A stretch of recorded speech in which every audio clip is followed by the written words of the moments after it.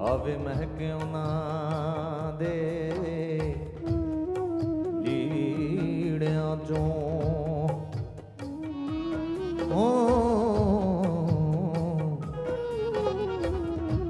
ਕਿ ਜਿਹੜੇ ਮਜਲਸੀ ਹੋਣ, ਅਤਾਰ ਦੇ ਜੀ। ਸੋਬਤ ਨੇ ਕਦੀਨੇ ਇੱਕ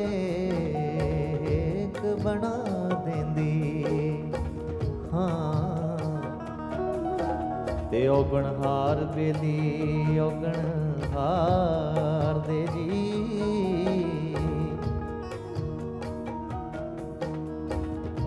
ਹੋ ਬਹੁਤਾ ਬੋਲਣੇ ਦੀ ਨਹੀਂ ਓ ਲੋੜ ਕਾਈ। ਉਹ ਬਹੁਤਾ ਬੋਲਣੇ ਦੀ ਨਹੀਂ ਓ ਲੋੜ ਕਾਈ। ਅਸੀਂ ਨੇੜਿਓਂ ਗੱਲ ਮੁਕਾਵਣੀ ਏ।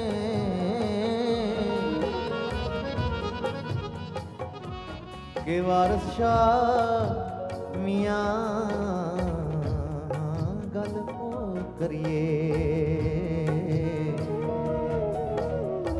ਜਿਹੜੀ ਕੰਮ ਪਿਆ